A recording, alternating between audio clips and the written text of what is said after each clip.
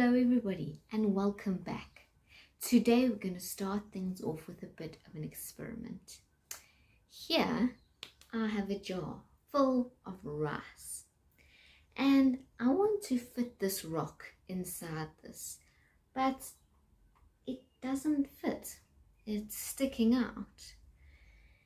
But let's see what happens when we switch them around and I put the rock in first and then the rice. I'm going to put the rice into this bowl so that you know it's the same amount of rice.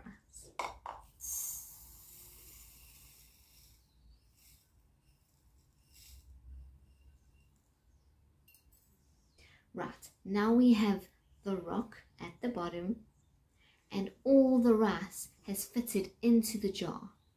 What can we learn from this? Let's pretend that this rock is God and all this rice is everything else that we need to do. When we try and put everything else before God, before we put the rock on top, when we put the rice first, it doesn't fit. But when we put the rock inside first, then everything else fits in.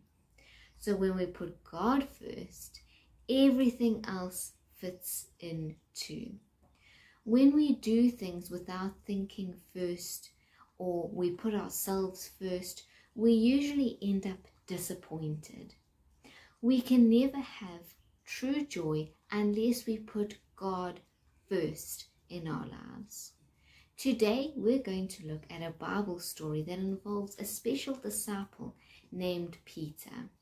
Peter loved the Lord, but sometimes he acted or spoke quickly and didn't think about the consequences. The one he's the one who saw Jesus walking on the water and he himself walked on water too. We spoke about him last week. We're going to read from the Bible two different stories about two different events that happened in Peter's life. One that made him sad and one that made him glad. And we will see that Peter was much happier when he agreed to love and follow Jesus first. The first passage, we will look what at what happened when Jesus was arrested and crucified. Peter had always told Jesus that he would follow him no matter what. In fact, at the Last Supper, he told Jesus that he would die for him. And Jesus predicted something different. In John 13, verse 36 to 38, Peter says, Lord, why can I not follow you now? I will lay down my life for you. Jesus answered, You will lay down your life for me. Truly, truly, I say to you, the rooster will not crow until you deny me three times. Well, after Jesus was arrested and put on trial, Peter was near the place that he was. As he warmed himself by the fire, his nerves got the better of him. Let's see what happened. We can read about this next part in John 18, verse 15 to 25. I'm just going to read certain parts of it for us. The servant girl said to Peter, Are you not one of this man's disciples? He said, I am not. Now Peter was standing and warming himself. So they said to him, Are you also not one of the man's disciples? He denied it, saying, I am not.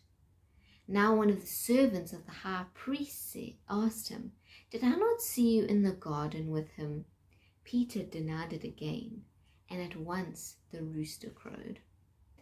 Imagine how sad Peter must have felt when he realized that he had broken one of the promises he had made Jesus. He'd promised to put Jesus first, and in this situation, he put his own safety first. When he heard the rooster crow, Peter remembered the words that Jesus had said about him and realized that he had gone against his word and denied knowing Jesus. Have you ever tried to blend in with a group and not be noticed? That's sort of what Peter was doing here. He's trying to fit in and he doesn't want to get in trouble for being friends with Jesus. Thankfully, that was not the end of the story for Peter. After Jesus rose from the dead, he was talking to his disciples, and he said to Peter, Do you love me more than these? Peter said to him, Yes, Lord, you know that I love you. Jesus continued to ask Peter two more times. Why did Jesus ask him three times if he loved him? Well, remember, that's how many times Peter denied knowing Jesus. Peter then learned the importance of putting God first, and Peter ended up doing a lot for God's kingdom. Our job is similar. When we put Jesus first, we realize how special and important he is, and that makes us want to serve him with all that we have. When we do that, we glorify God, and that gives us genuine joy. Let's make sure that we always put our rock, God, before our rice, everyone and everything else.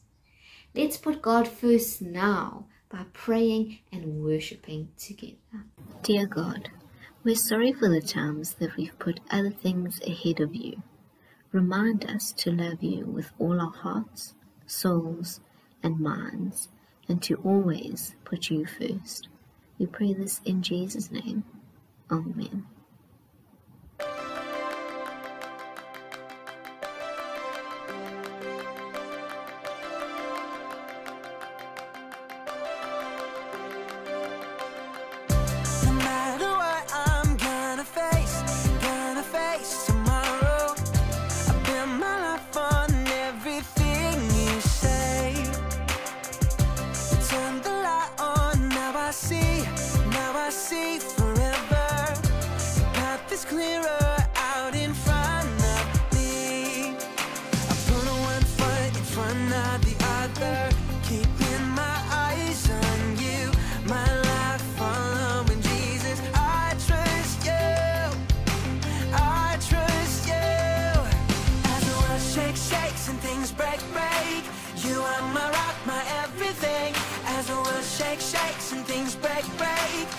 were my rock, my everything. As the world shakes, shakes and things break, break. You are my rock, my everything. As the world shakes, shakes and things break, break. You are my rock, my everything.